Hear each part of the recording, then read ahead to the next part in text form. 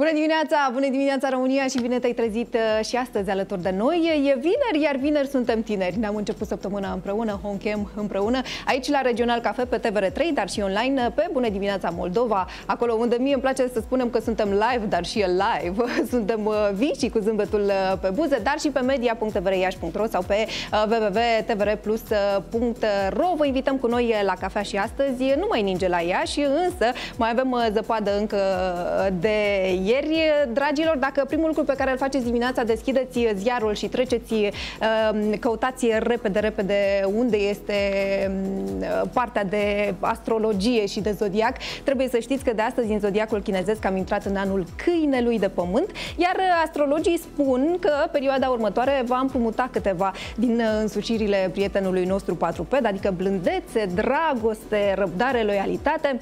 Și, pe de altă parte, e un an în care vă veți îndrăgosti mult, foarte mult, mai mult decât uh, de obicei. E uh, un an cu multe nunți, dar și cu multe divorțuri, pentru că unde este Yang, trebuie să fie și in. Anul cățelului 2018 uh, este un an cu multă energie, uh, în echilibru în același timp cu mediul, dar mai ales cu dragostea, v-am spus.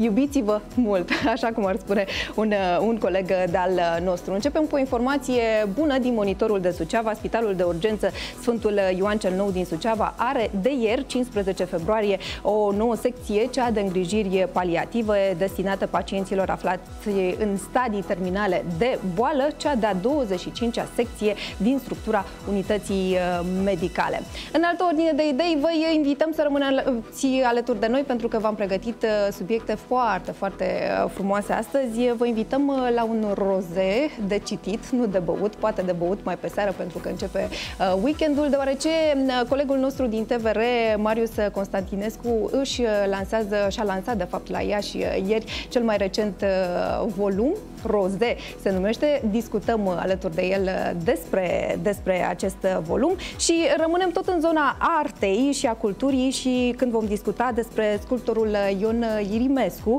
în prezența scriitorului și publicistului Grigore Elisei, ca pe final să ne reîntoarcem la carte și să discutăm cu scriitorul și senatorul Dan Lungu.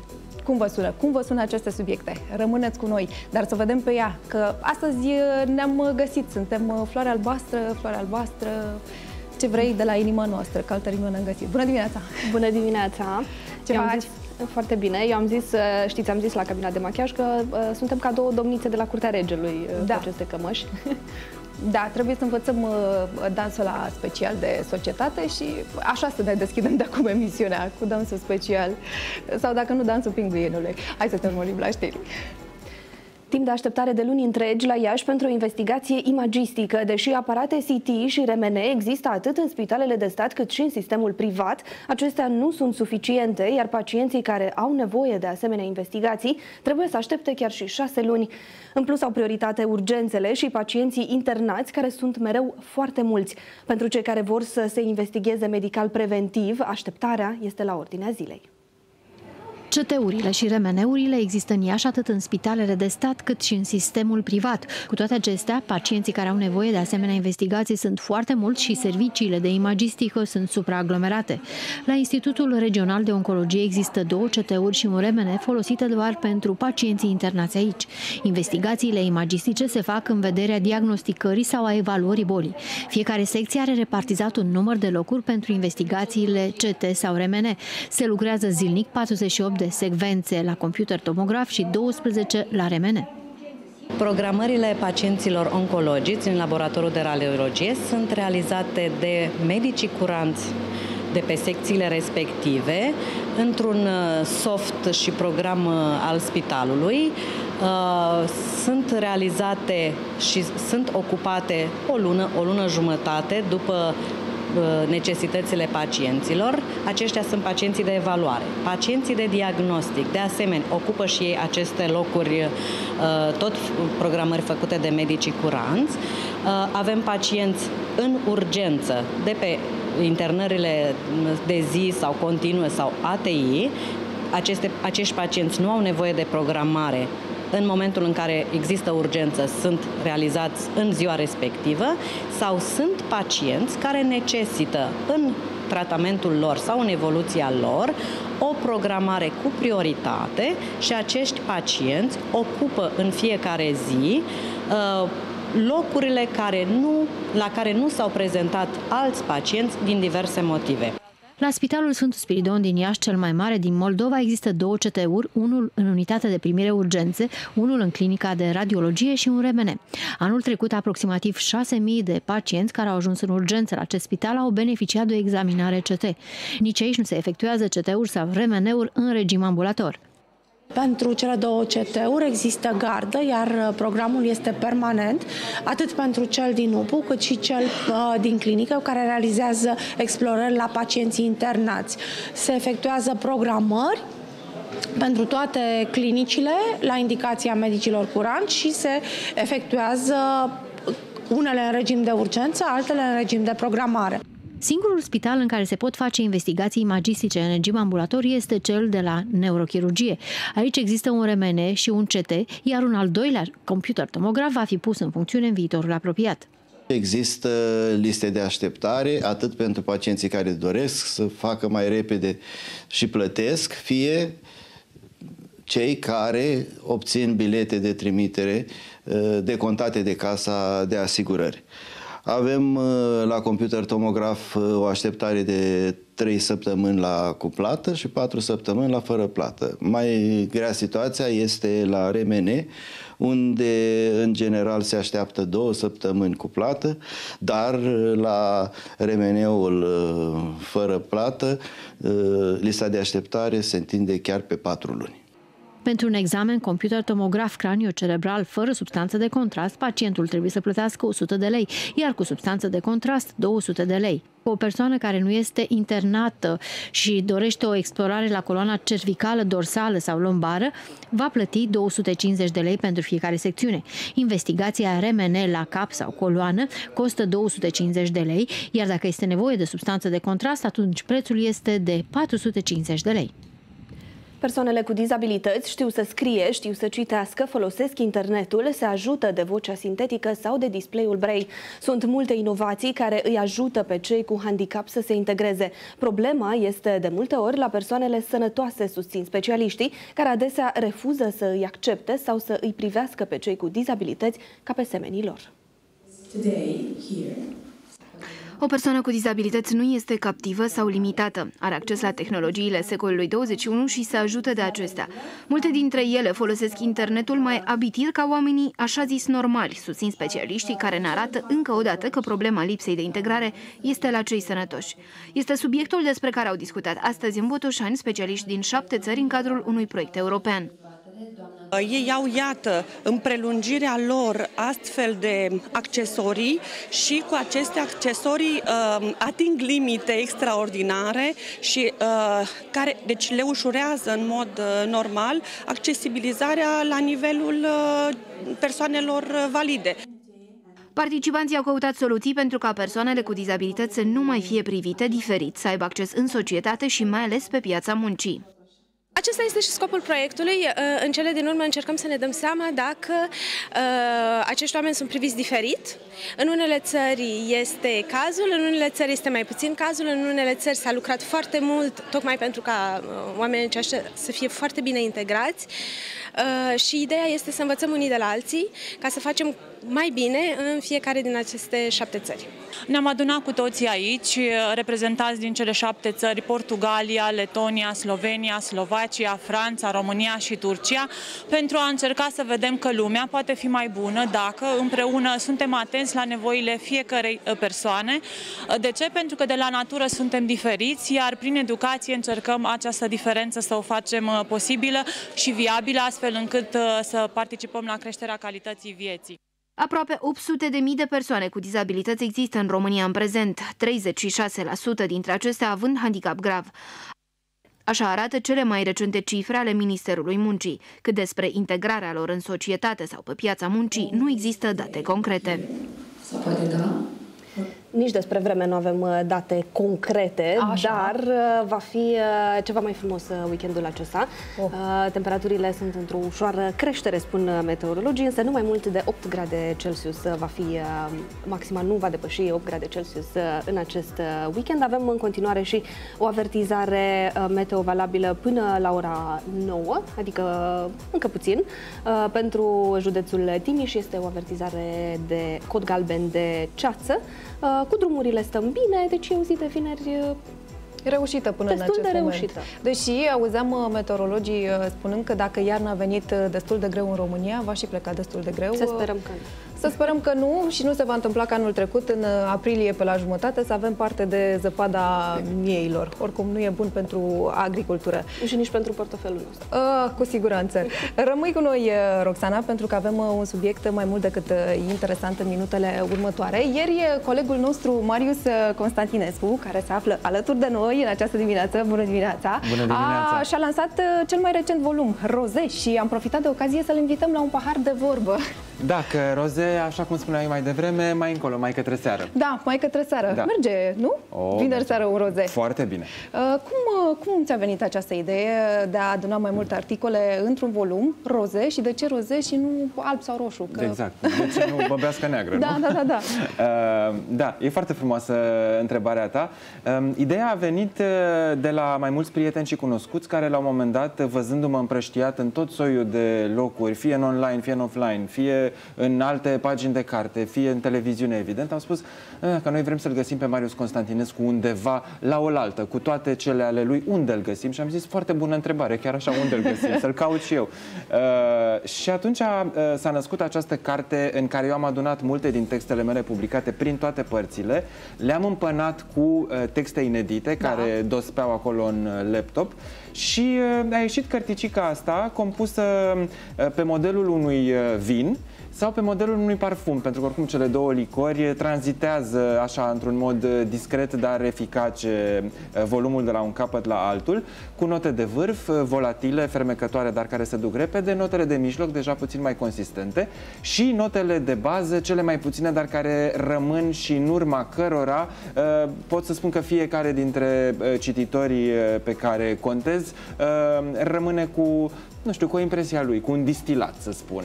Așadar, e o carte aromată. Simt, e o simt. carte aromată, e o carte foarte sinceră, e un soi de uh, autoportret din cioburi colorate de mozaic, care poate nu se îmbină foarte bine la contur, dar uh, cred că dacă faci doi pași în spate și uh, privești lucrarea asta uh, ca pe o pictură impresionistă, să zicem, o imagine de ansamblu reiese până la urmă. Uh, nu, pe, al de, pe de altă parte poți să pui problema și așa, uh, profil, poveste, personaj, de această dată tu ești uh, da, personajul. Da, cam, cam așa este, dar nu eu am fost miza acestei cărți, deși eu sunt firul ei roșu, pentru că eu am scris toate textele din ea, cât mai degrabă un soi de invitație pe care eu o fac tuturor cititorilor, uh, mai întâi uh, să privească în jurul lor și să vadă că sunt foarte multe lucruri, indiferent de vremea și de vremurile pe care le traversăm, de care ne putem bucura. Lucruri simple, lucruri la îndemână, lucruri care de multe ori nu costă, Uh, nimic. Asta pe de o parte. Și pe de altă parte, prin această carte, într-un fel și eu am uh, încercat să ies dintr-un sertar în care lumea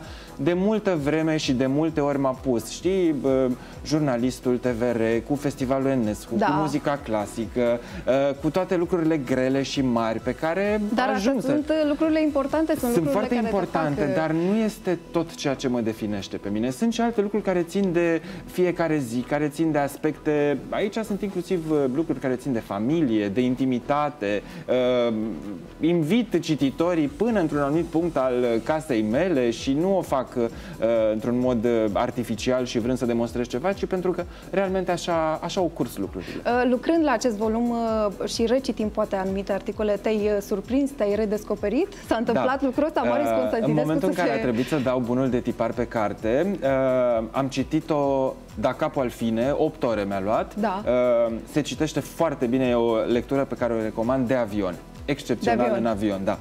Uh, și atunci am citit-o de la cap la coadă și m-am surprins, într-adevăr, în anumite uh, instanțe, nu că nu mă recunoșteam, ci mi-am amintit anumite lucruri pe care poate le uitasem și cel mai important, și asta este o reacție pe care o primesc și uh, de care mă bucur de fiecare dată, uh, este atunci când uh, eu, dar mai ales alții, râdem uh, în aceste pagini. Uh, se râde cu această Da. carte, am înțeles, și asta e o bucurie imensă. Uh, nu ți-a fost, pe de altă parte, teamă să te expui în felul acesta? De obicei ești, ești obișnuit cu lumina reflectoarelor, cu atenția asupra Da. ta, dar și asupra invitaților uh, tăi. Da, de această da. dată îți uh, expui și poate slăbiciunile. Am făcut lucrul ăsta cu toată dezvoltura de care sunt în stare uh, și păstrând în, undeva în uh, planul 2 o timiditate pe care eu o am și o voi avea întotdeauna, chiar dacă uh, munca mea, exact ca și a ta, presupune reflectoare, presupune uh, tot, uh, tot acest grup de oameni care nu se văd, dar care ne văd pe noi, dincolo de cei Da. care sunt de partea cealaltă a ecranului și care uh, sunt cu privirea uh, țintă pe noi. Deci cu această timiditate, dar și cu foarte multă dezvoltură, am uh, lăsat de la mine și am lăsat să se vadă multe lucruri care țin de mine, pentru că aș spune că și asta e o modalitate de a de a deveni mai firesc, mai uh, în legătură, nu neapărat cu publicul meu, că nu sunt eu uh, buricul pământului să am un public neapărat al meu, cât cu oamenii care, uh, care vor să, să rămână un pic, să poposească în paginile acestei cărți. Uh, Plus că de fiecare dată umanul uh, apropie foarte tare Absolut, și absolut. feedback-ul în acest sens uh, e pozitiv. Cum uh, a fost uh, ieri seara la A fost minunat. la noi.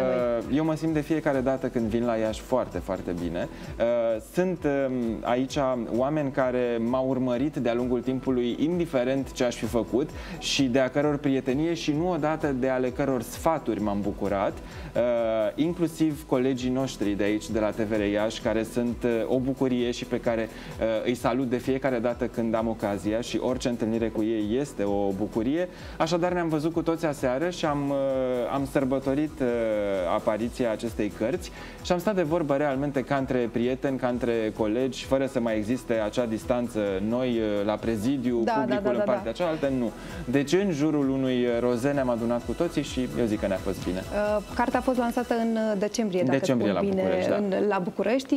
Care sunt uh, părerile care se întorc uh, uh, și anume către tine? E o din carte- partea cititorilor. E o carte uh, care cred că îi bucură pe oameni și uh, asta evident că mă bucură pe mine foarte mult. Ți-ai fi Uh, imaginat că e atât de interesantă viața ta încât să nu mai lași cartea din mână? Um, nu, sincer nu. Uh, sigur că felul în care eu am prezentat multe lucruri de aici sunt valabile pentru noi toți. Uh, și cum spuneam mai devreme, sunt atât de multe mici uh, uh, piese de puzzle care înseamnă bucurii pe care le avem cu toții, pentru că un pic de ciocolată bună ne place tuturor. Oh, da. Oh, da. Uh, un pahar de vin într-o seară de weekend acasă cu cei dragi, iarăși e o bucurie pe care o avem toți. Uh, o plimbare, nu știu, dintr-un punct într-altul în care ne bucurăm de vitrinele unor florării sau de, nu știu, um, un, un parfum bun de tei la sfârșit de mai. Uh, și aici voi sunteți binecuvântați. Da. Uh, iarăși sunt lucruri care ne fac bine tuturor. Uh, în felul acesta am primit și eu multe reacții uh, ale celor care au citit uh, cartea și care uh, pe de o parte s-au regăsit în uh, paginile pe care eu le-am scris, pe de altă parte uh, au simțit ei nevoia, poate din graba zilnică, pierzând anumite lucruri pe lângă care trec, să-și ia un mic, să facă un mic ralentando așa și să privească un pic în stânga, un pic în dreapta și de ce nu să, să vadă lucruri pe care poate nu le mai vedea. Uh, Ești în plimbare. La Iași, de la Iași unde mergi? Te întorci la Săptămâna București? viitoare. Am fost uh, săptămâna trecută Brașov și Sibiu. Da. Iași acum, săptămâna viitoare va fi uh, Timișoara și peste două săptămâni încheiem acest uh, parcurs pe care, iată, Nemira și librările Humanitas mi l-au uh, făcut într-un mod absolut uh, de răsfăț pentru mine, aș spune, la Cluj. Am înțeles. Da. Ce urmează? Știu că e întrebarea Nu, tipică, nu, nu, nu, e dar o întrebare ce, foarte ce frumoasă. urmează? urmează uh, în ceea ce privește partea noastră de bază, adică televiziunea. uh, Peste o lună începem uh, pe TVR3 uh, interviurile Festivalului Internațional George Enescu, deci tot ce am filmat Da. uh, în disperare furibundă uh, anul trecut în septembrie, în sfârșit uh, dăm pe post uh, pe TVR3 în fiecare duminică la ora 22 interviurile Festivalului Enescu, iar uh, în ceea ce privește coteul uh, livresc, uh, dacă pot spune așa, da, urmează ceva, se pritocește ceva în, uh, în anul ăsta, da, o să, o să mai fie ceva pentru la anul, mm, cu siguranță. Interesant. Da. Uh, descrie-mi, te rog, momentul în care îmi spuneai de avion, dar eu cred că uh, trebuie să fie un moment perfect și un loc perfect în care ai putea citi această carte. Descrie-l puțin. Așa A, uh, pentru mine, uh, unul dintre locurile cele mai bune de citit este în metrou. În metrou? Da, eu citesc în metrou. Nu avem la Iași metrou, din păcate nici autostradă nu avem. Numai că aceste texte fiind texte de 2, 3, maxim 4 pagini, uh, lectura se, se pretează inclusiv la momente furate. Așa că eu zic că dacă avem un 15 minute în care nu știm cu ce să umplem uh, timpul, putem să umplem cu două texte de aici și eu zic că e, e câștig și de partea cărții și de partea celui care citește. Un pahar de roze uh, lângă, Absolut. cu siguranță. Îți mulțumim mult de prezență și uh, multă baftă. Abia aștept să citesc uh, să fie. Mulțumesc volumul. Tare, tare Mergem mai departe și urmărim uh, chiar acum uh, un fragment. Ion Irimescu, portret la 95 de ani, considerat cel mai important sculptor român al ultimei jumătăți a secolului 20. Ion Irimescu este unul dintre acei artiști cu opere spectaculoase și o biografie lipsită de evenimente schimbătoare de destin. Urmărim fragmentul și revenim.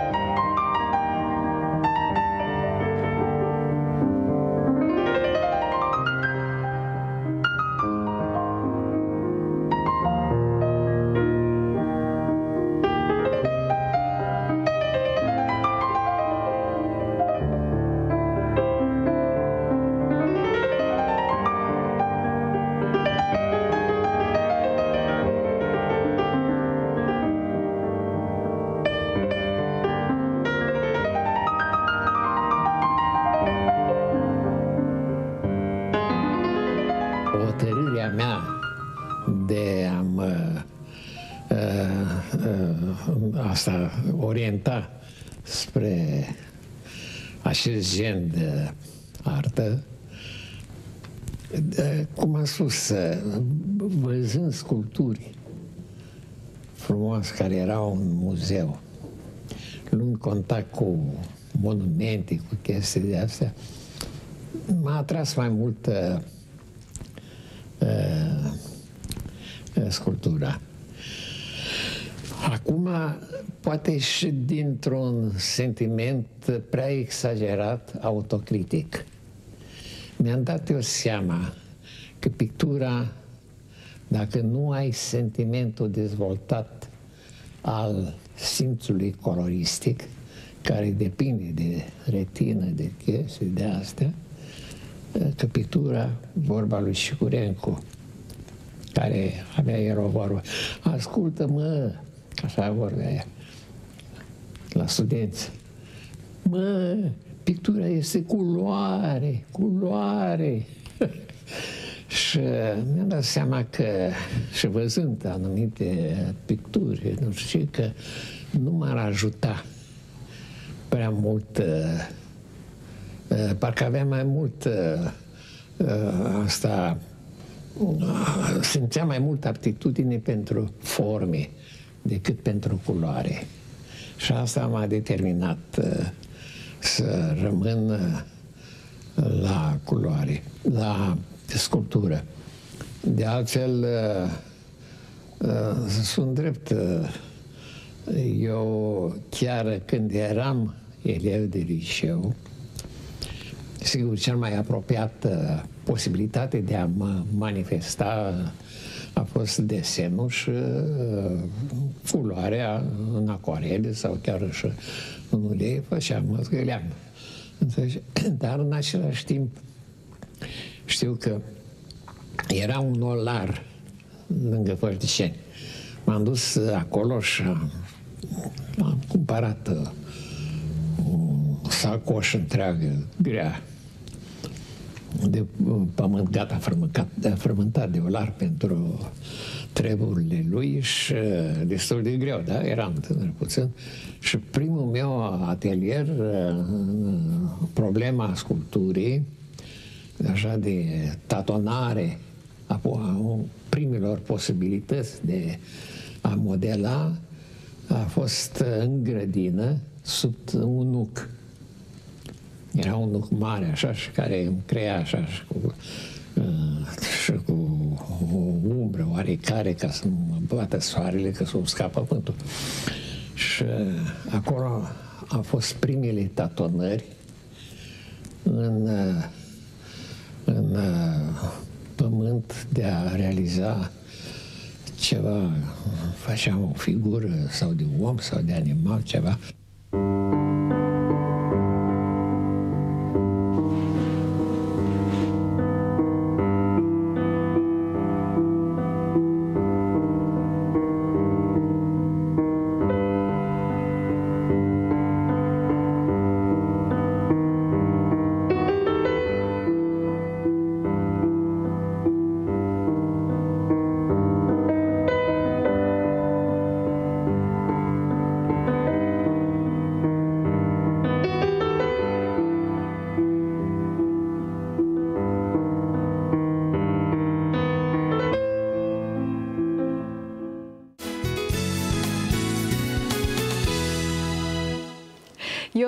uh, Irimescu, ce personalitate și ce personaj. Uh, să știți că în această dimineață ne bucurăm de prezența domnului Grigore Ilisei, scriitor și publicist și de altfel uh, un apropiat al domnului Irimescu. Bună dimineața și bine ați venit! Bună dimineața, bine v-am găsit!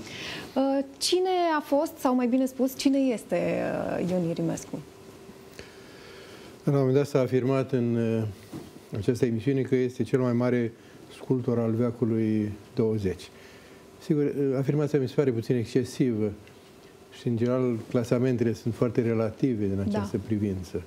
Sigur, secolul 20 e marcat de mari figuri, începând cu Brâncuș, nu? care e spiritul tutelar și figura stelară a sculpturii universale. Un novator, cum spune Ion Irimescu, care, raportându-se la Brâncuș, pe care îl admira, el spune că eu sunt un continuator, iată definiția care ar putea fi dată, un continuator care adaugă ceva la acest edificiu cu adevărat impunător al sculpturii românești, care are în veacul 20 un veac de aur.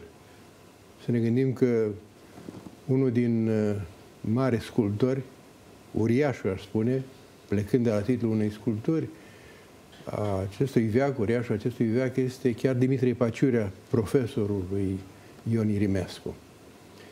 Așa cum spuneam, Ion Irimescu uh, e un continuator uh, pendulând în permanență între clasicitate, între marea tradiție și modernitatea care este a veacului 20, în care formele se schimbă, esențializarea și simbolul mare măsură, metafora, sunt elementele caracteristice limbajului sculptural. Sigur, e de asemenea faimos acest sculptor pentru că el a avut o longevitate cu totul ieșită din comun. Probabil că a fost, și e sigur, singurul artist român care și-a trăit propriul centenar. Adevărat. Iată, în 2003, eh, el împlinea 100 de ani, era celebrat întâi la, eh, la Fălticeni și totodată la București, la Academie, pentru că Ion Irimescu era și membru de onoare al Academiei. Dar eh, sculptorul acesta s-a distins și prin felul foarte înțelept. Era, într-un fel, încarnarea înțelepciunii moldovenești, acestui spirit critic despre care vorbește Ibrăileanu, acestei cumpăniri a moldovenilor, pentru că el și-a gândit, pe de o parte, sigur, o opera în ansamblul ei, o operă care a crescut de la un an la altul, ciclică, e adevărat, dar în același timp și-a gândit și posteritatea. și gândindu-și posteritatea și-a uh, zidit, să zic așa, un loc al memoriei sale și acest loc al memoriei sale este chiar orașul Fălticeni, orașul obârșilor sale. Uh, s-a născut uh, în 27 februarie 1903 lângă Fălticeni, într-un sătuc, Arghira, din comuna Preutești, unde tatăl său uh, era arendașul unei moșii. Și mama sa era o descendentă dintr-o familie franceză, uh, familia Cazabanilor. O familie cu rezonanțe mari în cultura românească, care a dat uh, de asemenea figuri strălucitoare, așa cum e cazul actorului Jules Cazaban.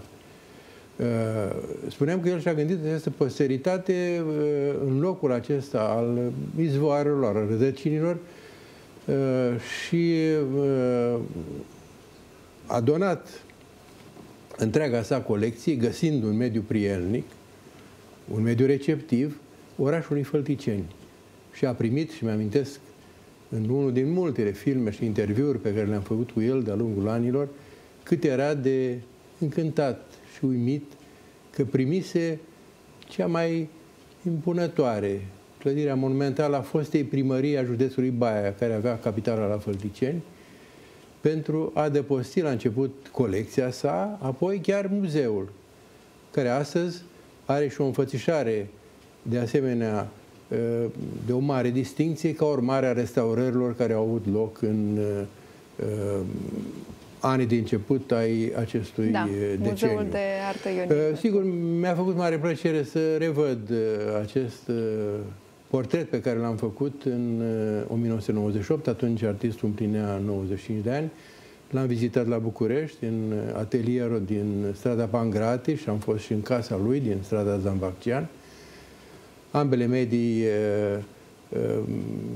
de o boemă, de o poezie, de o tihnă, și de o căldură cu totul specială, care erau consonante, într-un fel, cu firea sa.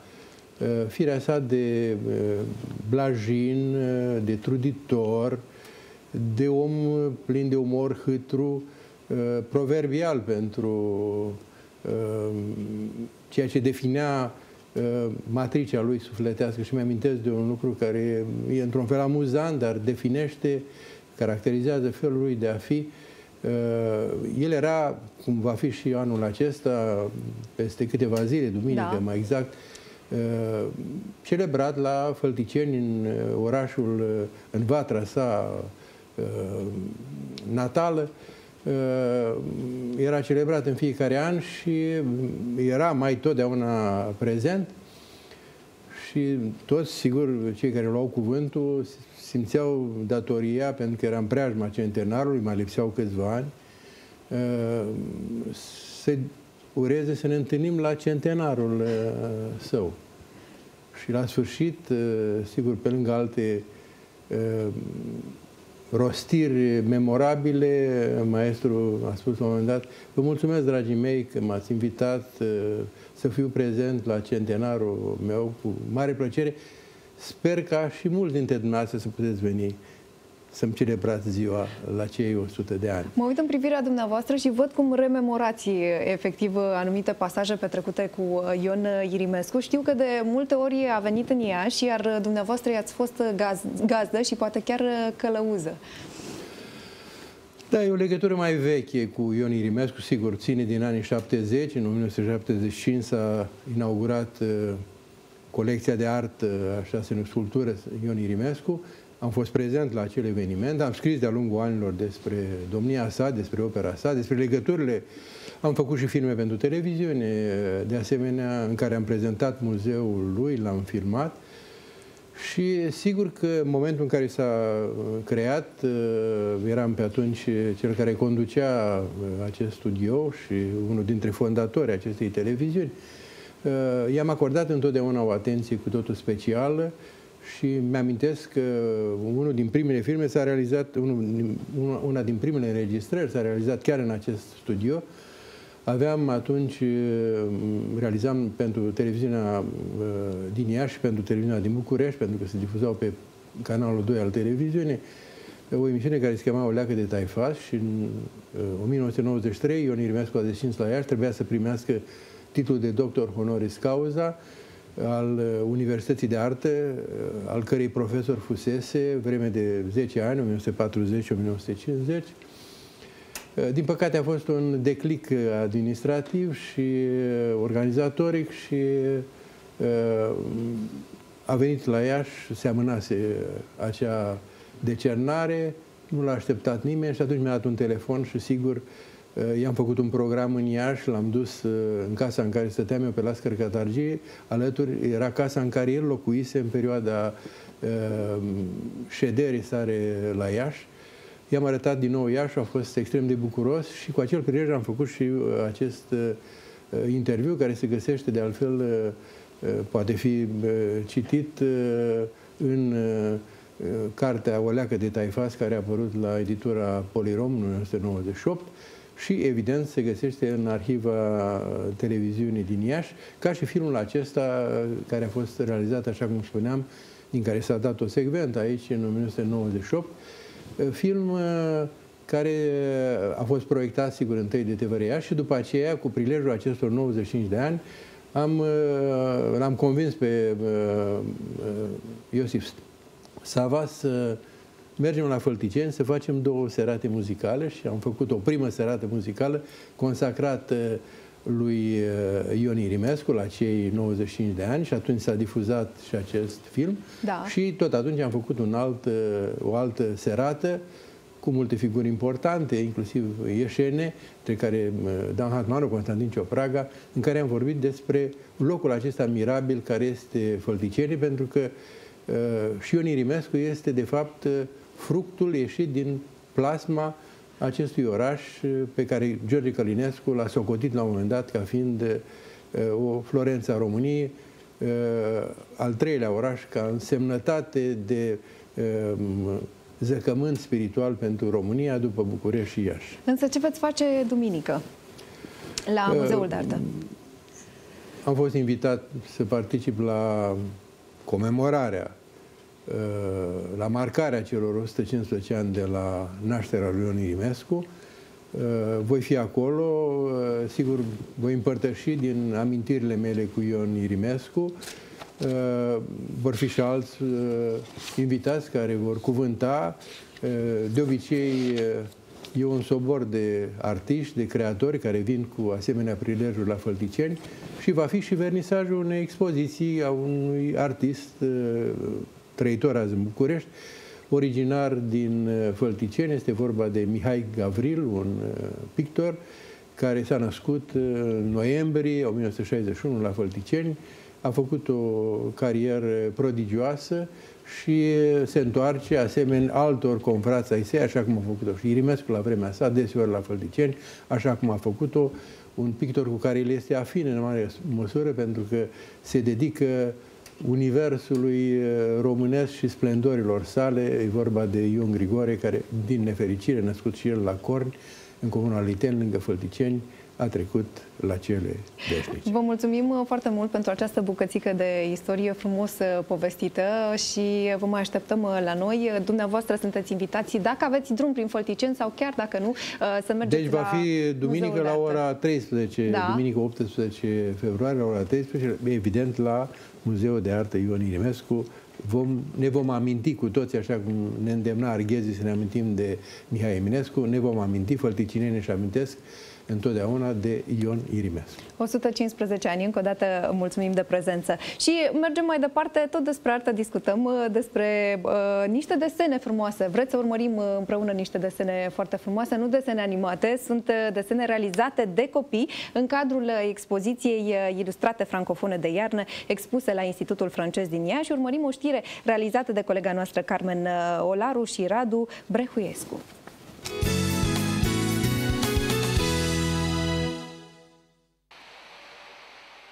Expoziția Ilustrate francofone de iarnă are scopul de a încuraja pe tineri să creeze și să își prezinte lucrările în fața publicului. Pictorii amatori îndrumați de mentorii lor au expus de această dată la Institutul Francez Iași. 2018 a fost declarat anul european al patrimoniului și tradițiile populare sunt un fel de patrimoniu uh, imaterial. Știți că la noi în Franța avem și o tradiție uh, populară care a fost înscrisă la acest patrimoniu uh, imaterial. Este tradiția uh, prânzului uh, gastronomic francez. Proiectul este dedicat tradițiilor populare din Moldova și reunește peste 100 de desene ale copiilor din localitățile Ieșene, Buhalnița, Ceplenița, Heleșteni, Bodești, Scânteia, Sticlăria Scobinț, Suhuleț, Tansa și de la Fundația Solidaritate și Speranță. Desenul pictat de mine reprezintă un sat uh, bătrânesc în timpul iernii. Reprezintă copiii cum uh, se joacă și bucuria lor că a venit iarna. Ce-ți place să uh, pictezi cel mai mult? Diferite peisaje. Pe care de unde le găsești? Din diferite cărți sau mă inspir de la colegi. Din sat, așa, de acolo găsești? Da. În uh, acest desen am vrut să ilustrez uh, peisajul uh, iernii din uh, satul nostru, cum bucuria copiilor Uh, față de acest anotimp, uh, chiar și a viețuitoarelor. Cu ce tablou ești prezent în expoziție? Uh, cu un tablou de iarnă, desigur, unde am pictat mai multe case, copii, colindători și... Deci l-ai făcut în preajma sărbătorilor? Da, da, da. Sau ți-ai imaginat sărbătorile, nu? Da, unul l-am făcut chiar în preajma sărbătorilor, unul după. Pentru prima dată, expoziția găzduiește și lucrări ale copiilor din Ucraina și Franța. Acești copii, la ei bogați, o imaginație bogată au și au uh, pictat să... M-am uitat mai atent acum, că am avut mai mult timp, să mă uit la fiecare tablou și marea majoritate din ele sunt legate cu sărbătorile de iarnă. Deci cele mai mari sărbători care le așteaptă copiii parcursul uh, anului și vreau să vă spun că uh, m-au impresionat lucrările și zic eu că acești copii vor avea o perspectivă. Proiectul Tradiții Românești Cultură Europeană este organizat de Centrul Județean pentru Conservarea și Promovarea Culturii Tradiționale și Institutul Francez Iași. La acest proiect am uh, lărgit, uh, de fapt, uh, sfera participanților în sensul că prin relațiile bune care le avem cu Centrul Bucovinean de Artă din Cernăuț și ei în cadrul Școlii Populare de Artă și Civilizație Românească au un cerc de pictură și iată că la această ediție sunt prezenți la Iași lucrări foarte frumoase și nu în ultimul rând copii din Saint-Pierre Selbeof, Franța, care au trimis lucrări pentru prima dată la Iași și iată că aceste ilustrate francofone de iarnă se regăsesc astăzi la Institutul francez din Iași. Dascăl Isabela Expoziția poate fi vizitată până pe 25 februarie.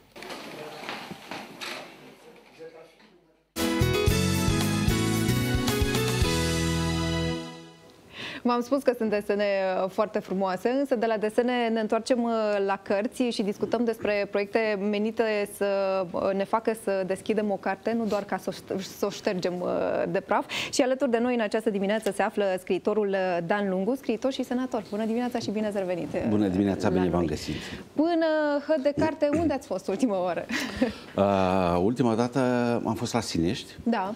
Uh, săptămâna trecută cu cărți, vreo 400 de cărți pe proiectul nostru pe care l-am uh, deschis pe cabinetul parlamentar. L-am deschis anul trecut în uh, martie uh, și ne-am propus ca în fiecare lună să mergem într-una din comunele Iașului, să ducem cărți pe care le-am adunat în urma unui apel public la donație. Și până acum câte cărți ați dus? Până acum am dus uh, un pic peste 3.000 de cărți și mai avem încă 2.000 strânse pe care le ducem așa în fiecare lună în, uh, în câte o comună. Și cum alegeți bibliotecile unde duceți cărțile respective? Am, uh, bună întrebare. Am făcut, e bună întrebare pentru că nu toată lumea se gândește că unele au mai, multe, mai multe nevoie decât altele. Ne-am consultat cu Biblioteca Județeană, care are o statistică a noilor achiziții ale tuturor bibliotecilor din județ Uh, și am luat în, uh, în ordinea, uh, cum să spun, a cărților pe care nu le-au primit, să zic așa.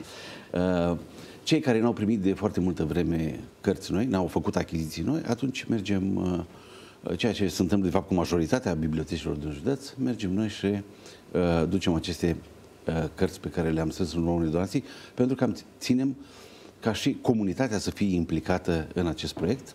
Evident că am putea lua, am putea cumpăra sau lua de la, de la, libre, de la edituri donații, dar mi se pare foarte important ca oamenii să conștientizeze uh, de nevoia de carte din mediul rural și de cultură în mediul rural, pentru că e dezastru, de fapt, acolo, ce am văzut, și să doneze cărți, implice astfel, noi le ducem mai departe la cele biblioteci, ne întâlnim cu uh, bibliotecari, cu profesori, cu directori de cămine culturale și uh, cu elevi, evident. Nu numai că ducem cărțile, dar uh, cu ocazia asta și uh, scanez așa un pic uh, ce se întâmplă în, uh, în spațiu cultural rural. Și ce se întâmplă acolo? Că mi-ați spus mai devreme da. că e dezastru. E dezastru, da. În ce sens? Încă cu bibliotecile un pic mai bine, în sensul că uh, există o coordonare a lor, Biblioteca Județeană da. măcar știe câte sunt și uh, ce nevoi au, nevoile sunt multe, nu sunt rezolvate, dar uh, există, cum să spun, măcar uh, există un tablou al nevoilor.